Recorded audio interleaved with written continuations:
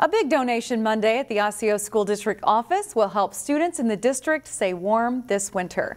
Employees at North Memorial Health Hospitals and Clinics delivered more than 150 gently used coats and other winter gear that will go to students in the Osseo District's middle and high schools. We were sorting in our one of the offices, and I mean, I think we were up to our, our necks in coats, and it was such a wonderful thing to see that overwhelming response. Because when you do something like this, you really just don't know what people have the capacity for, what they have that they can give, and we just we're, we're just blown away by the generosity that we saw. Tide Cleaners washed all of the coats for free, and the Osseo District will start distributing them this week.